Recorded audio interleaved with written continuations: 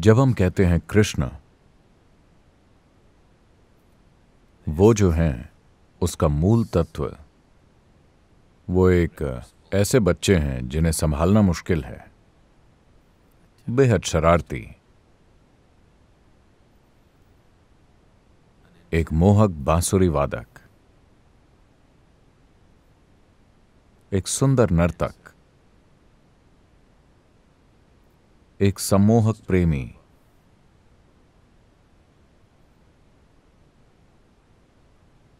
एक बहादुर योद्धा। अपने दुश्मनों के निर्मम संहारक। एक ऐसा इंसान जिसने हर घर में एक टूटा दिल छोड़ा।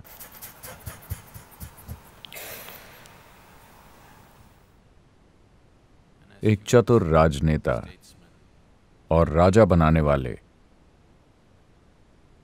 एक संपूर्ण सज्जन,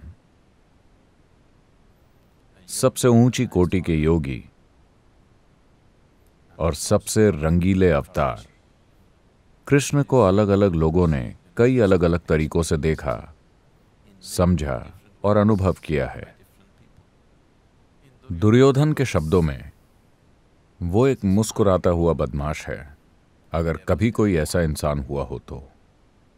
वो खा सकता है, पी सकता है, गा सकता है, नाच सकता है, प्यार कर सकता है, लड़ सकता है। बूढ़ी औरतों के साथ गपशप कर सकता है, छोटे बच्चों के साथ खेल सकता है। कौन कहता है कि वो भगवान है? ये दुर्योधन का नज़रिया है। शकुनी का कहना है। चलो मान लेते हैं कि वो भगवान है तो क्या? भगवान कर ही क्या सकता है? भगवान केवल उन भक्तों को खुश कर सकता है जो उसे खुश करते हैं। उसे भगवान होने दो। मुझे वो पसंद नहीं है। और जो आपको पसंद नहीं है, आपको उसकी तारीफ़ करनी चाहिए। यही चालाकी है।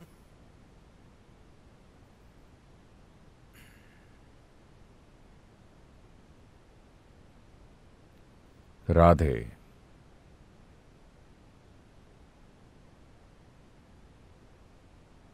उनके बचपन की प्रेमिका, एक दूध वाली, गाँव की एक साधारण सी महिला। लेकिन अपने ज़बरदस्त प्रेम और भक्ति के कारण वो इतनी बड़ी हो गई हैं कि आज आप राधे के बिना कृष्ण की बात नहीं कर सकते। हम कृष्ण राधे नहीं कहते, हम राधे कृष्ण कहते हैं।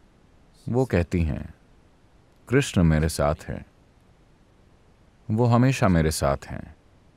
वो चाहे जहाँ भी हों, वो चाहे जिस किसी के भी साथ हो, वो फिर भी मेरे साथ हैं। ये उनका अनुभव है। वेंतेया। एक युवक जो गरुड़ राज का सबसे बड़ा बेटा था और गोमंतक के पहाड़ों पर रहता था, एक ज़बरदस्त नौजवान। पर एक बीमारी ने उसे पूरी तरह से अपंग कर दिया था। कृष्ण से मिलने के बाद इस अपंग नौजवान ने उनकी मदद से चलना शुरू कर दिया।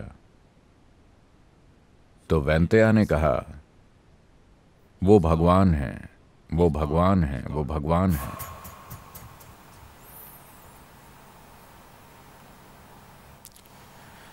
अक्रूर। अक्रूर कृष्ण के एक चाचा एक बुद्धिमान और संत जैसे इंसान। उन्होंने कृष्ण के बारे में अपने अनुभव को इस तरह से व्यक्त किया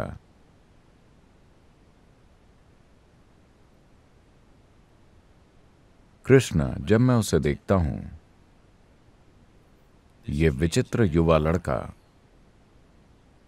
तो मुझे उसके चारों ओर सूरज चंद्रमा और सात सितारे घूमते हुए दिखते हैं When he speaks, he sounds like the voice of the eternal. जब वो बोलता है तो ऐसा लगता है जैसे अनंत की आवाज़ बोल रही है। वही आसरा है। अगर इस दुनिया में उम्मीद और आसरा है तो वही वो आसरा है। शिखंडी। एक पीड़ित इंसान। चूँकि वो अपने भीतर एक तरह की अवस्था में फंसा हुआ था, अपने बचपन से ही वो एक ऐसी आत्मा रहा है जिसने बहुत अत्याचार सहा है। तो शिखंडी ने कहा, कृष्ण ने मुझे कभी उम्मीद नहीं दी। लेकिन जब वो मौजूद होते हैं तो उम्मीद की बयार हर किसी को छूती है। मैं इस तरह लगातार बोल सकता हूँ। अलग अलग लोगों ने उनके अलग अलग पहलुओं को देखा।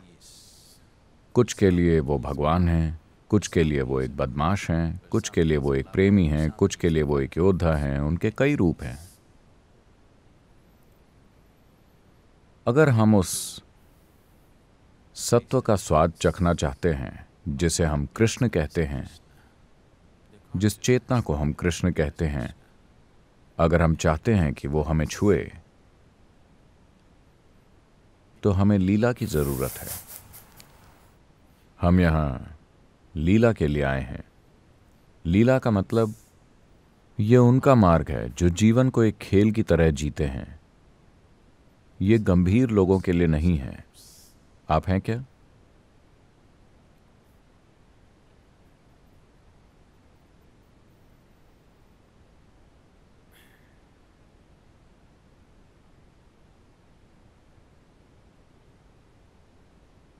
क्योंकि जब मैं जीवन को खेल की तरह जीने की बात करता हूँ,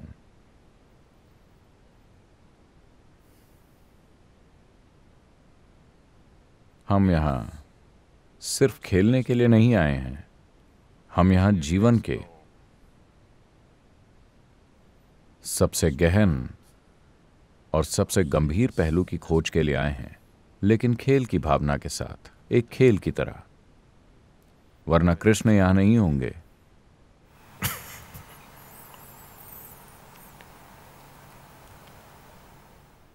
दुनिया की विशाल आबादी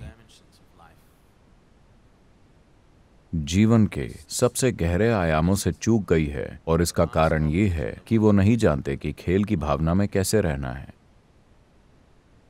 अगर आप इस मार्ग में खेल की भावना के साथ आगे बढ़ना चाहते हैं, अगर आप खेल खेलना चाहते हैं तो आपको एक प्यार से भरा दिल, एक आनंदित मन और एक जोश से भरा शरीर चाहिए वरना लीला नहीं हो सकती।